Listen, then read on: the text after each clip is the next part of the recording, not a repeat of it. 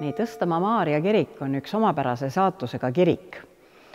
sada aastat enne seda kivikirikut oli siin läheduses puukirik. nii et tuhande kuuesaja kaheksakümnendatel aastatel oli siia juba kirik rajatud, enne seda oli kirik hoopis kaugemal Kastna rannas, et räägitakse, et tuhande kuuesaja kolmeteistkümnendal aastal rajati sinna Maarja kabel ja et äh, selle rajajateks siis või õigemini hingedeks olid siis äh, tänu kellele see siis rajati, Skandinaavia meresõitjad. no selline on lugu, kas ta päris nii on olnud, ei tea. see kirik siin on siis tuhande seitsmesaja kuuekümne kolmandast kuni tuhande seitsmesaja kuuekümne kaheksanda aastani ja selle kinnituseks, millal see ehitati, on laes laud, kuhu on kirjutatud soli Deo Gloria, au ainult Jumalale, tuhat seitsesada kuuskümmend seitse. nii et äh, aasta pärast seda sai siis see kirik valmis.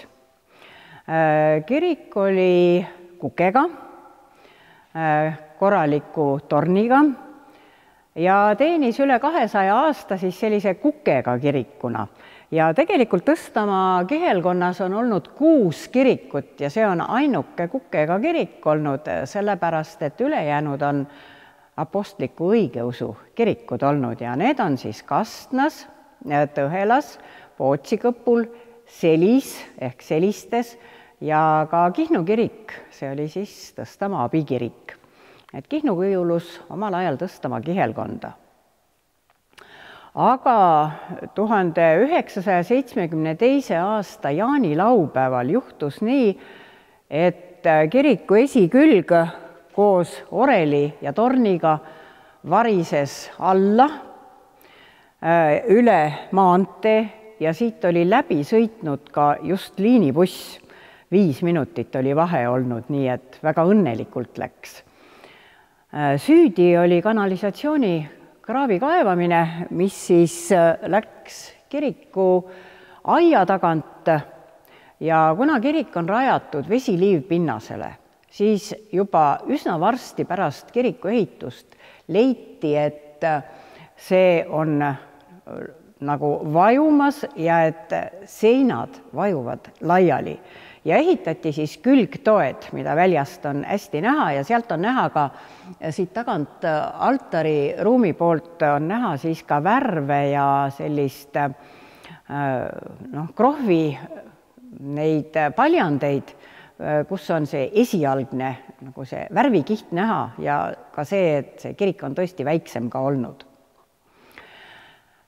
kirik seisis siis äh, veidi aega nagu varemetes ja ja et see orel oli nii väärtuslik, siis seda on näha Eesti filmist äh, Oreli sisseminek, äh, kus Hugo Lepnorm kurvastusega ütleb, et see on surnud orel, et üks hea orel on jälle hukka saanud. siis pärast seda, kui see esikülg oli nüüd kokku varisenud, siis praht koristati ära, esisein löödi laudadega kinni, äh, väikene uksekene jäeti ka ja tegelikult jumalateenistused äh, toimusid siin ikkagi aeg-ajalt. Äh, siis kaks väga hingega meest, õpetaja Herman Lusikas, kellele on siin kirikus siis ka seinaplaat, kes oli Tõstamaa viimane päris oma õpetaja ja teenis ka Lihula kirikus. ja siis organist Raimond Prentsel, kahekesi hakkasid siis päris käsitsi tavalise segumasinaga segu tegema, vett toodi kaevust, pangedega veeti seda segu ja siis pandi esiseina.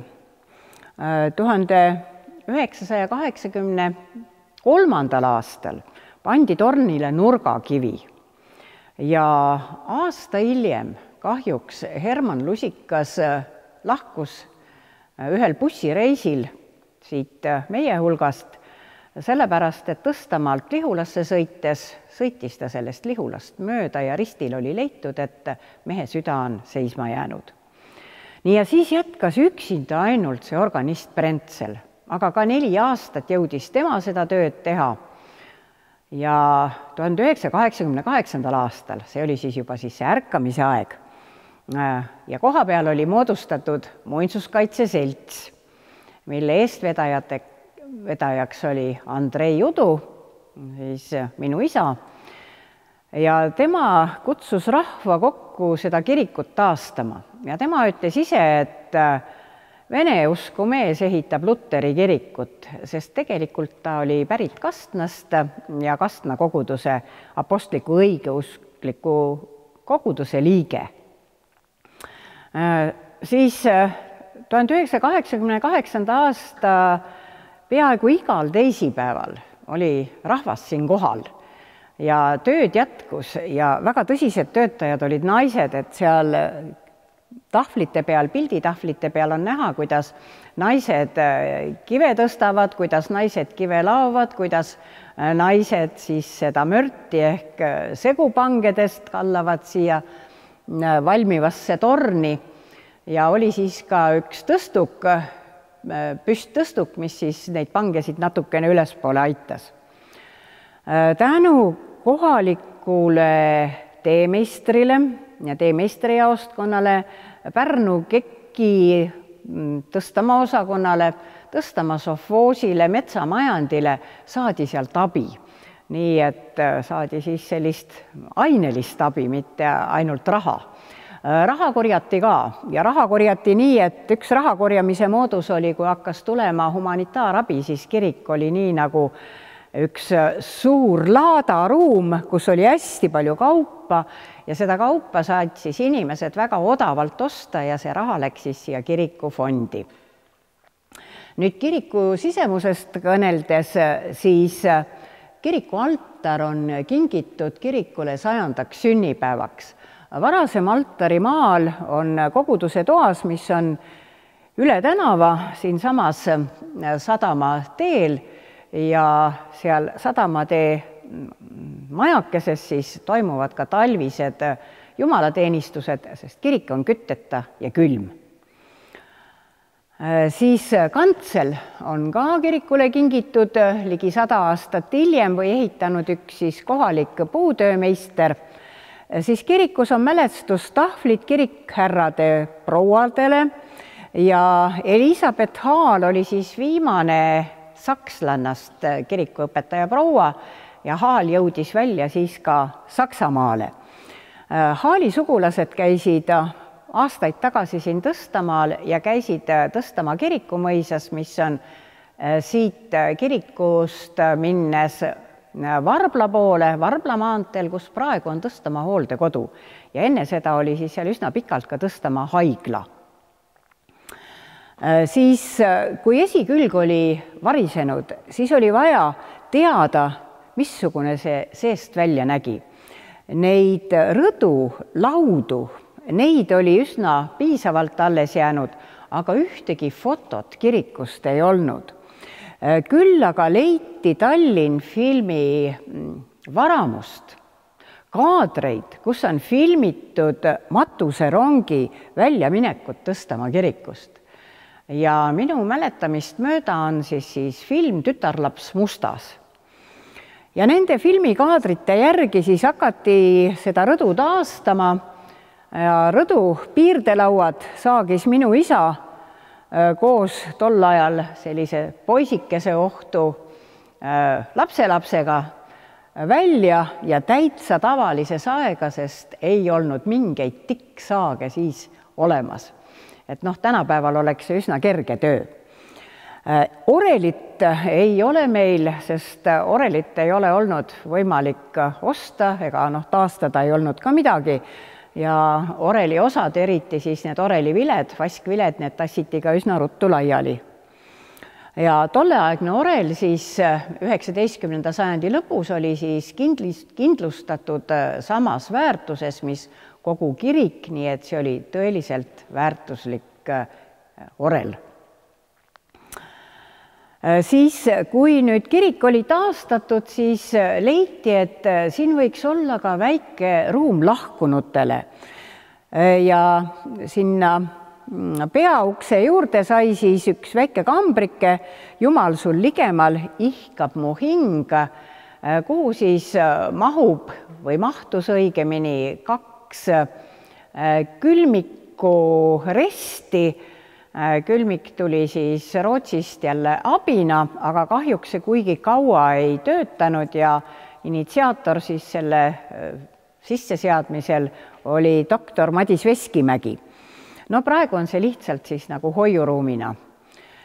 Äh, siis kirikus on äh, nii see pikk vaip kui ka need lühtrid, need on kingitused.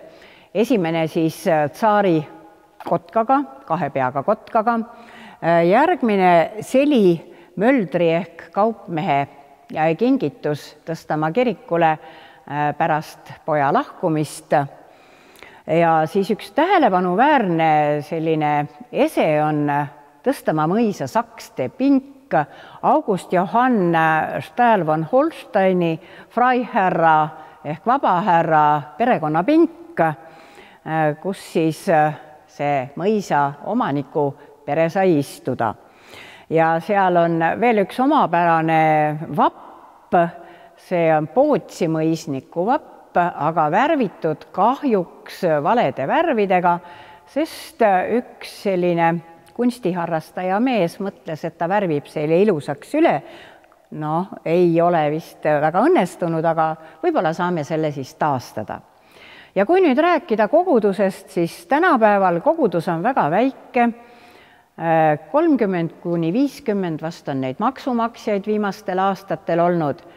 Ja valdavalt siis vanemad prouad käivad siin kirikus, aga on üks selline tore kogukond tegelikult ja kui midagi on vaja teha, siis tuleb ka mm, kohalik rahvas appi. Õpetajad on meil pärast Herman Lusika minekut vahetunud. siin on olnud üks õpetaja, kes ametilt oli ka kalur, sest teatavasti jah, see kirikutöö väga leiba ei ole andnud Äh, siis meil oli kirikuõpetaja, kes nägi välja nagu hevimees ja helimees, kes armastas nahkrõivaid ja nahksaapaid, aga tegelikult oli hingega ikkagi siis ka hingekarjane. Siis oli meil vahepeal soomlasest õpetaja, hästi selline tugev, suur mees, sagari, kellel ei olnud talaari algul kohe anda, et ta oli ikka nii suur, et selle talaariga oli tegu ja siis meil tuli Usuteaduste Instituudist üks väike selline pisike-pisike äh, üliõpilane, kellele katalaari ei olnud kohe anda, aga olid Rootsist saadetud äh, äh, leerikleidid ja esimest korda tuli ta siis siia altari ette leerikleidis. noh, edaspidi sai siis ka talaari. nii, siis on meil siin teeninud Andres Põder kes äh, on siis äh, praegu juba oma sellise pikema töö lõpetanud, aga ka Urmas Viilma, peapiiskop, on olnud Tõstamaa koguduses õpetaja ja Urmas Viilma ajal käis siin väga tore ka selline leeritegevus ja palju noori inimesi tuli leeri. Äh, siis Tõstamaa kirikust vast veel rääkides, et kui vaadata siin natukene ringi, siis need toonid, mis toonides see Tõstamaa kirik on, need kollased hallid toonid, et need olevat siis tõesti selle kiriku noh, originaaliga sarnanenud toonid, sellepärast et muinsusarhitekt Rein Raie käis siin natukene kõpitsemas ja leidis, et sellistes kollastes ja hallides toonides on see kirik ka varem olnud. Ja sellise karva sai siis Tõstamaa kirik tuhande üheksasaja üheksakümnendate alguses, sest tuhat üheksasada üheksakümmend mm, oli Tõstamaa äh, kooli mm, juubel, äh, kolmesajas aastapäev, mis tegelikult äh, noh, kalendris oleks pidanud natukene varem olema, aga selle puhul oli siis siin selline avajumalateenistus ja, ja ka lipu õnnistamine. Ja tuhat üheksasada üheksakümmend üks toimus Tõstamaal Pärnumaa pirand ehk folklooripidu ja selle avamine oli ka siis siin kirikus. Ja tänu sellele siis kultuuriosakond andis siis raha nende värvide jaoks et Tõstamaa kirik on selline, nagu ta siis praegu on, ilma oreli ja korraliku tornita ja tornikiivrita